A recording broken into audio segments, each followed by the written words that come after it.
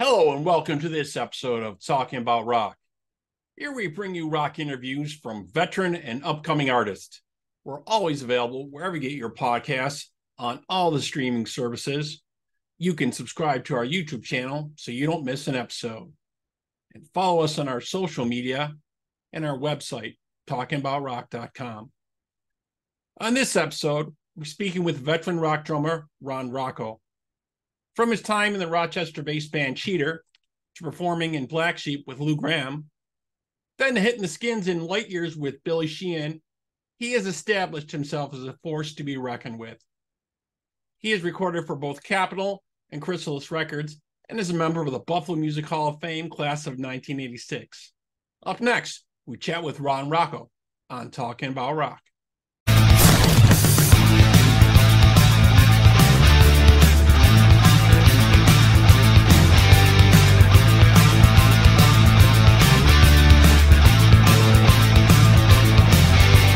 Okay, folks, let's welcome Ron Rocco to the show. Hello, Ron. How are you today?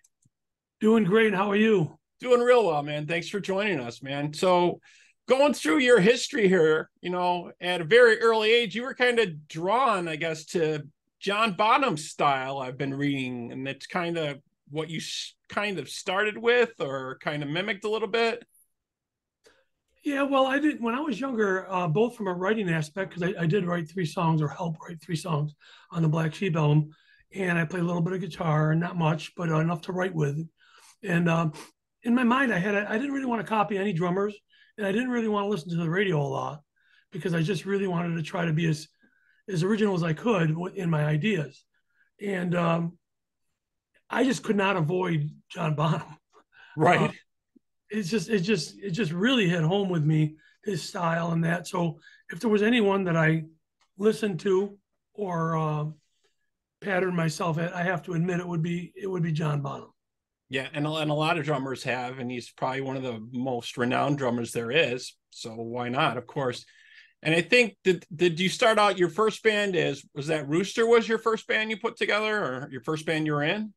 That was the first band I was in. Uh, I remember that one. Um, it really did well for my first band. It wasn't my band. I joined it, and uh, as a matter of fact, the gentleman that was already already in the band, um, drumming, um, I had an audition. Was also the singer in the band, and he kind of wanted to drum and sing. And I went there with a cast on my arm up to my elbow, um, from my wrist to my elbow.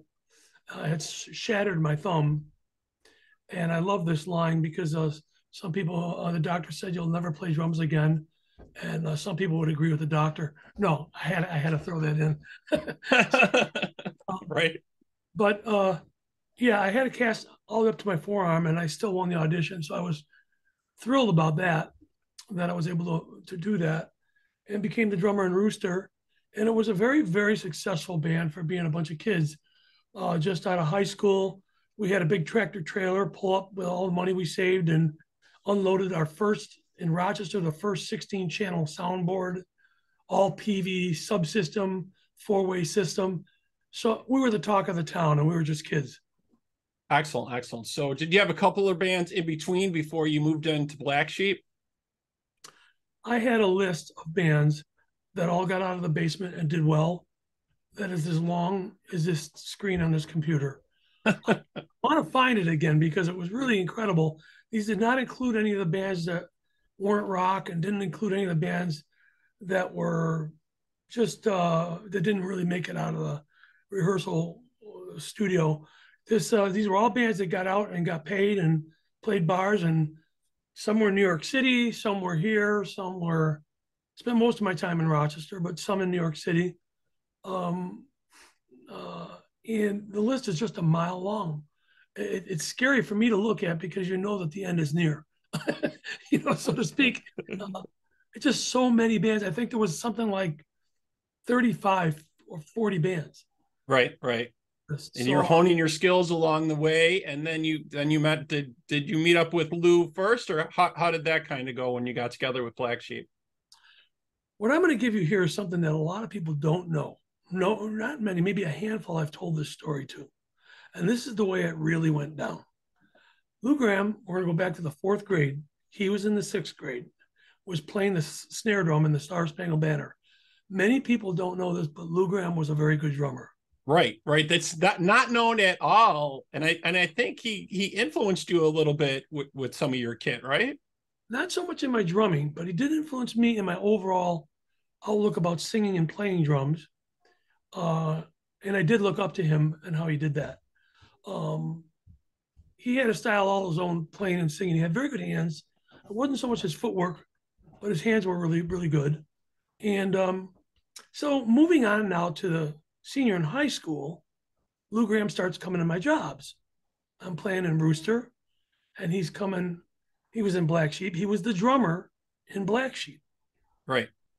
And he's giving me thumbs up, and I'm smiling at him. And turns out he was looking for a drummer to replace him. Right. He's looking to step out from the kit. Right. Yeah. And that's how that all happened. And um, even though I've had an up and down relationship with Lou all my life, um, without him in my life, I would never have become a musician. Uh, I was highly doubtful that I would ever be what I've become today, which is uh, I've, I, a student of drumming, a student of music, a student of writing. Uh, that all happened because of Lou Gramm. Yeah, just an amazing talent. Obviously, I mean, we know the laundry list of of hit songs. You can rattle them off that that came out uh, when he moved on to Foreigner. You mm-hmm. know, after that, but but you guys in Black Sheep, you must have had something special because you were signed uh, eventually to Chrysalis Records, being the first American band on that label. So that had to be huge for you guys. You know, we had a, a producer that uh, Stuart Allen Love, who um, came in one day and I think we were out in the barn or somewhere uh, rehearsing. Um, I remember a barn, but that was really the drummer that replaced me who had the bar. Oh, man, I think it was at Bruce's house, Bruce Turgon's. That's what it was. And uh, we are out rehearsing or something, and uh, Stuart came in. We're, we're leaving Chrysalis. And we go, what? We're, we're from Gates, New York. You know, what do you mean we're leaving Chrysalis? Right, right. We're leaving Chrysalis. And we're going to go to Capitol Records oh, okay. And Be- Beatles were on Capitol. I'll, I'll, do that. You know. Right, right. I didn't, I didn't have much to say about that. Was definitely a step up. Chrysalis was was a very new company at the time, and I think eventually they signed Pat Benatar, but I think that was a little a little while later on. But Procol Harum, Jethro Tull, yeah. uh, things like that, and we were the first American act, and a lot of people don't know that. So that's another claim to fame for the members of Black Sheep. Excellent, excellent. Well, I really love this stuff. We're going to take a quick break. We're actually going to check out a track and some video from Black Sheep for the track Woman. And we'll be right back here with Ron Rocco on Talking About Rock.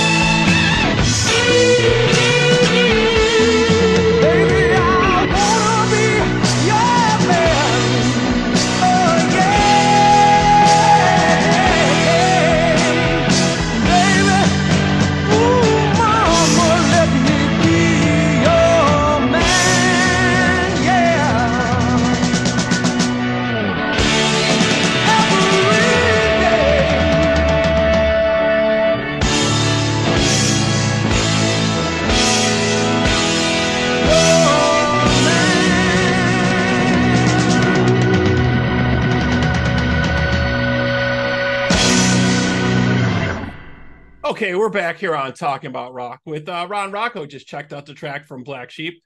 So great stuff, man. You guys actually got some touring going on. You guys toured with 10 Years After, Ted Nugent, and um, then you were slated to hop on the Kiss tour, but things kind of went off the rails there. But what can you tell us about uh, 10 Years After and the Nugent tours? Well, 10 Years After was the biggest thrill for me ever. I was 21 years old. And after after our show one night, the drummer um, Ric Lee from uh, Ten Years After came into our dressing room. I think it was a locker room uh, at some facility, and started asking me to show him things on my hands and knees in my drum solo. And my head blew up right the size of the building. Uh, here's this guy from the first Woodstock asking me how to show him some of the things, and that really mushroomed up into him taking me out every night uh, in his limo and his wife, Ruth Ann Lee, was on tour with him. And well, one night I was famous for being the band clown, and I would smear food on my face to make the band laugh. and they were all kind of rather serious. And uh, they used to call it the smears, and they cheer me on, and I would do it. Well, one night I just got done smearing coleslaw all over my face after a great set, and uh, I got the message that Ric and Ruth Ann Lee want to take me out on the town. Here I am stinking of coleslaw. Coleslaw. Yeah. right. Probably not the best to go out to well, wherever you're going to go, depending, I guess. But So I went out and Ruth Ann started saying she smelled coleslaw, and I, I kept swearing I, I didn't No. smell anything. no, Um, you must be imagining it. I went out, and that mushroomed into Ric. We were playing some highlight arenas in Florida, and the, one of the f- most fond memories I ever had was he and I at a practice set at the foot of his wife's bed. Um, him asking me licks and me showing him almost everything I knew.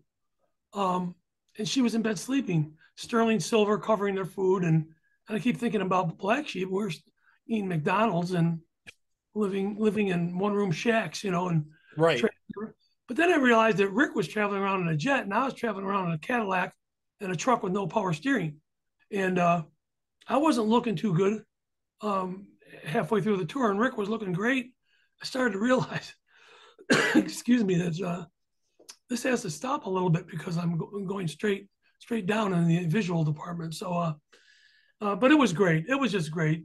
Those memories and him pressing a button. We'd go to a club and he'd press the button and and uh, some chauffeur would show up and pick us up, and people's hands would be all over the windshield, and all you could see was hands and faces, and you know we weren't used to that. We were not the headliner. Right. Um, That had to be a big shock to all of a sudden to kind of be in the middle of all that with them. Yeah, I didn't make it huge, and Black Sheep didn't make it huge, but we had a taste of making it huge. you Right. know, and it fed that fire uh, for possibly for Lou to go on and possibly the other members of Black Sheep Yeah. And then you did a tour with uh, Ted Nugent also. You did some shows with him as well, right? Ted was great. I have nothing but good things to say about Ted. Uh, the only remember memory I have of that is being on stage while he was playing, sitting on the side, and bags of pot were coming up, and um, he said, "It's all yours. You can have it. You know, I don't want it." and so my 18 year old guitar player Don Mancuso, uh, he he Yeah. likes, We talked to him a little while ago. Yeah. he likes smoking an occasional joint here and there. Right. He was just like it was Christmas for him.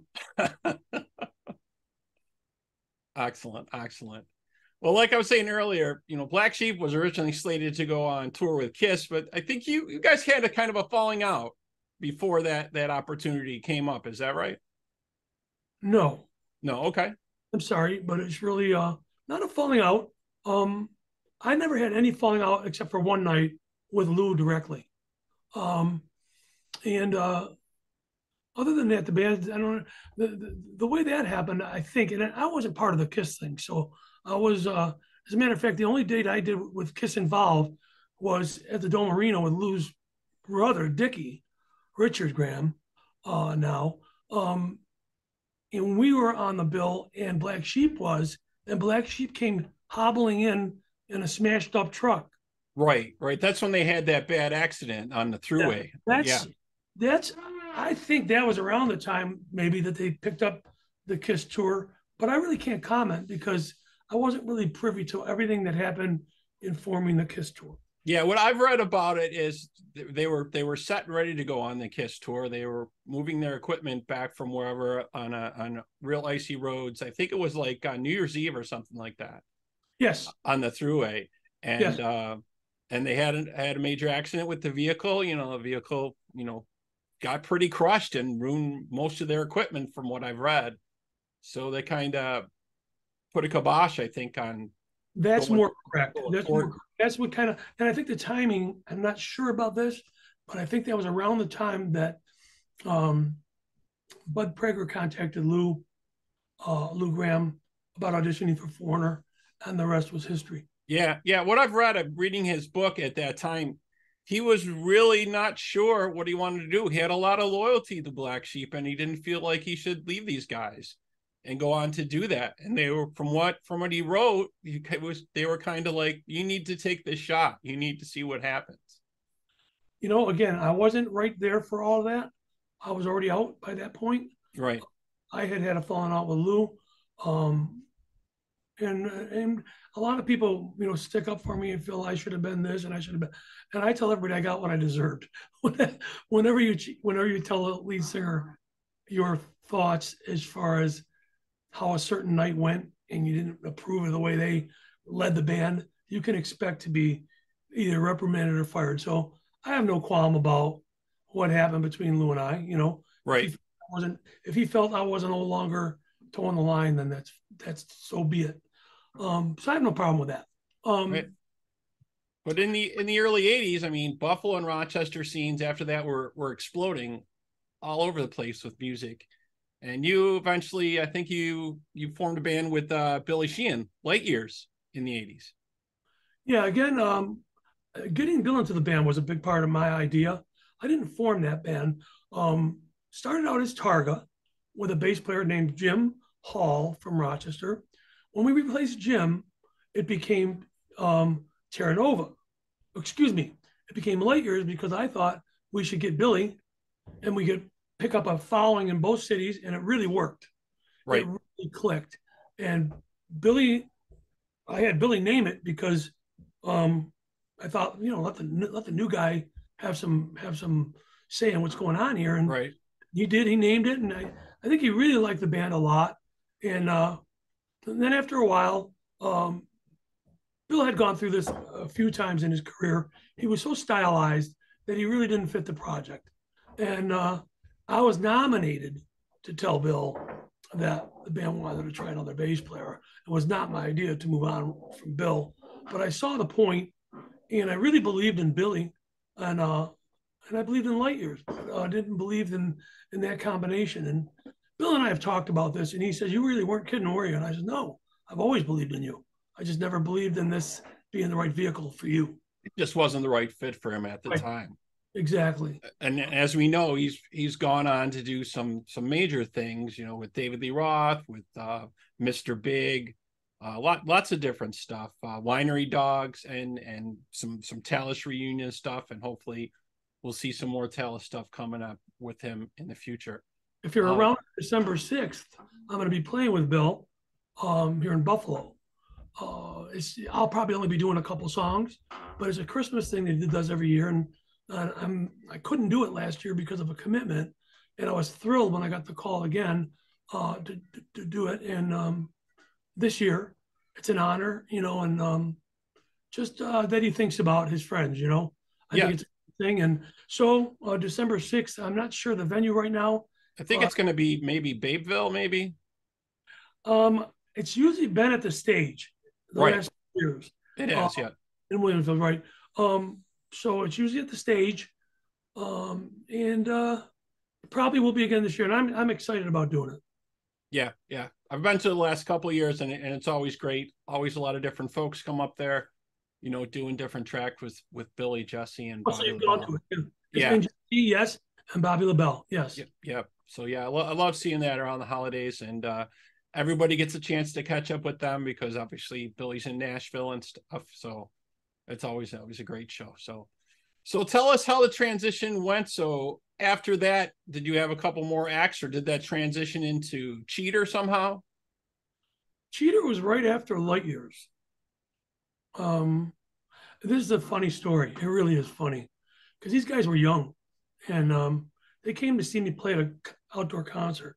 And for some reason, which I never wear all white, I was all in white. And I had sliced my finger open oh. on a cymbal. And it was bleeding pretty bad, but I just kept playing. And um, there was blood all over me. And and these kids are seeing me, and they're uh, one of them made the comment, "Look at he's got blood all over me." like, like that's how it is every night for me, and which is kind of funny uh, when I think back on that. And anyway, uh, the producer from Black Sheep, the engineer from Black Sheep, Ed Sprigg called me, said, Ron, I'm pretty much managing Grace Slick. Um, a lot of people don't know this either, but it never materialized. Uh, and you'd be great in the band. So he goes, the only catch is you've got to grab a gig for four months because it's not going to happen for four months. So then Cheater asked me, and I said, look, guys, I got an offer with Grace Slick in four months. And they said, we don't care. If you can play with us for four months, we'll probably be able to get a better drummer after you join in the band. Um, I guess they assumed I had a track record and it would help to land a better drummer. Um, so I did it. And then I got the uh, phone call that everybody dreads that the guitar player from Grace Slick chose one of his best friends to play drums instead. It didn't Right. pan out. And so uh, Cheater was on fire. And I said, why not stay? I mean, they're young, but they're a great band. And uh, I decided to stay. Yeah, you guys really were positioned to break through with with Cheater and the song uh 10 Cent Love Affair was was really big for you guys. You know, I'm really glad we're doing this interview because uh, you're asking a lot of questions that I've always wanted people to know about. And uh, one night, I feel a little, I'm a little nervous speaking for everybody else because again, I was not an original member of Cheater. I was brought on in Cheater to help seal the deal. Um, uh, this was Jeff Costco and Blaine Pierce's, I think, uh, original idea. Maybe Chris Brake as well, the original drummer. But anyway, um, what happened was we were playing a gig at Uncle Sam's on Walden. Yeah, Very huge, well known back in the day. huge nightclub. Yep, that's where I saw Talas play for the first time when I was a younger lad. Oh, it's just a beautiful place. And uh, we played just a sellout crowd, and RCA Records had come to see us. And somebody had mentioned something about the record being out already. And they said, Pardon me? And I said, You've released 10 Cent Love Affair on a local record? And they walked right back out. So that could be that could be the reason that 10 Right. Cent, the band never happened. Uh, who knows? I don't know. Yeah, yeah. They thought they thought you already had your one hit or whatever, and they missed they missed Right. the boat Exactly right. because back then it was it was a lot of singles driven before you would even talk about doing an album. itself, and it's kind of back to that now, but yeah, it looks like they thought they had mixed missed the boat. But I think it's a great track, and we'll take one more quick break. And we'll check out the track from Cheater for 10 Cent Love Affair. We'll be right back here with Ron, with Ron Rocco on Talking About Rock.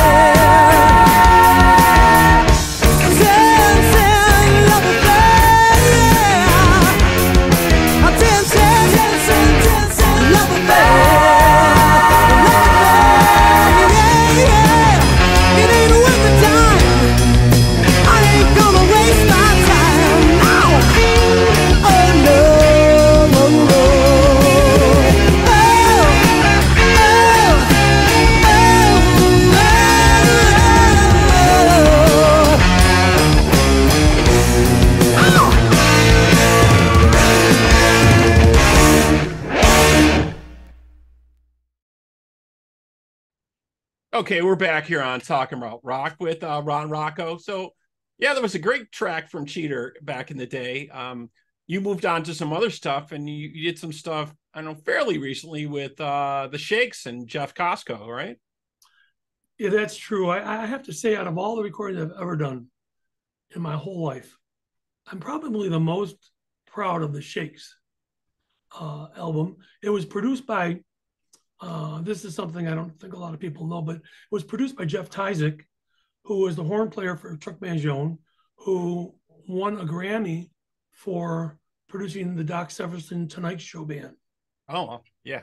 So Excellent. that's a nice thing for people to know out there. And um, yeah, Jeff had a great voice. They were an R&B project. They were rhythm and blues all the way.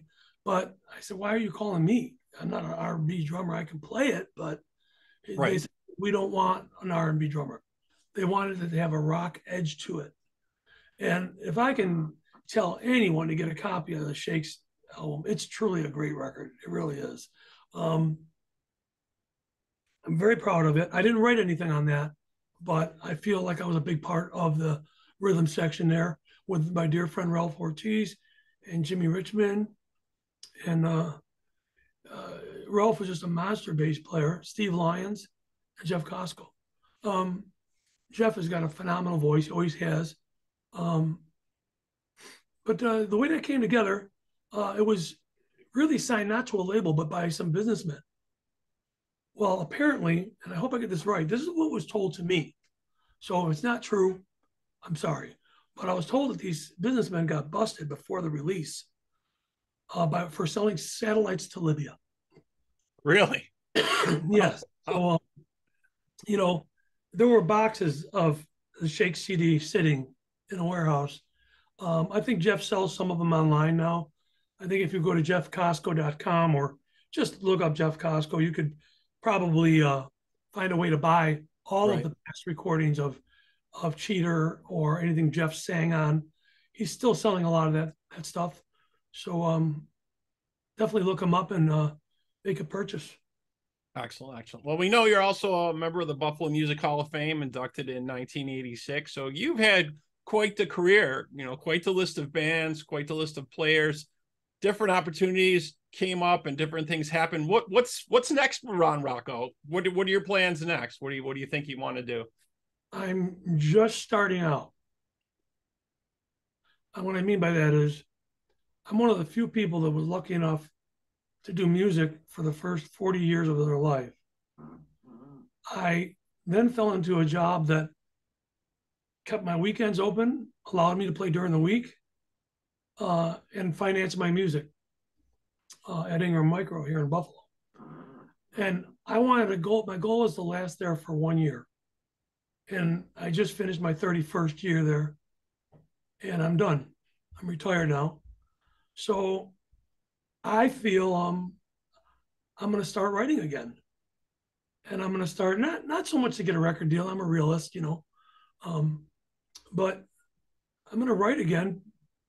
Possibly somebody might buy a song from me and record it, but really just to do it, just to write, to see if I still have it because I, I, was writing some pretty good hooks during my band Silent Scream. I had a girl singer named Dee Dee Marie, um, and we had a big blowout and uh, she says came into the store where I was music store where I was working and said, I'm not playing in bars with you ever again, but I still will do your originals. So that was one of the best compliments I ever got about my writing. She was pretty mad at me. Um, but she's like a sister to me now. We get along great. Excellent. But, yeah. So what, I, go ahead. I try to try to I try to make all my relationships or as many as I can have a happy ending, you know that's definitely definitely the way to do it. You have any advice for young young drummers out there starting out? Any career advice or musician advice maybe you could uh, pass along to them? I do. I really do. Um, as far as drumming goes, um, there's never been a better time to learn drums. There's so much great information being given away online, not even needing an instructor. You can grab stuff online. You don't have to be a rich guy and afford music lessons to be a good drummer. There's what I've been doing is all these licks that are out there that I like that I want to grab. I fast forward them to my text And now when I go down to rehearse, I constantly have nothing but what I like to rehearse with. I just go through the videos and I learn them. And they show you slow, fast, medium, you know. Right. So that's one bit of thing that, that that that I never had. I had a you know go to Hochstein School of Music and uh, go as an underprivileged kid to get in there and try and get music lessons, you know. Um, but if you can find a good local uh, musician who has really got a good track record, sometimes it's good to take some lessons to um, to get some of their uh, their methodology, how they go about it. It helps, uh, along with what you can find online. But the biggest thing is to stay inspired. Stay inspired. Yes, the record industry has taken a dive. There's no real record labels anymore. But think about what that means. That's really, in a way, a good thing. It means that the focus is now going to go back on the live performance. So you don't have to be a rich guy with elbows rubbing with a record label. You could be a band that has a great live show and aren't willing to go out there. I mean, that are willing to go out there and prove it and get signed that way. Or forget getting signed, just make enough money by doing live shows. So the opportunity is still there. Don't let it get you down. Excellent, excellent. Yep. Well, definitely. We are always here supporting uh, local and live music, and that's that's the way we hope it stays. Ron Roccahuayon, thank you so much for taking the time and chatting with us, man. Really appreciate it. My honor. My honor. Thank you for taking the time with me. I appreciate it. Yeah, and we'll see you December 6th and with the venue pending for the Christmas show with Billy Sheehan, Jesse Galante, Bobby LaBelle. Should be another great show. Thank you very much once again. All right. Have a good night.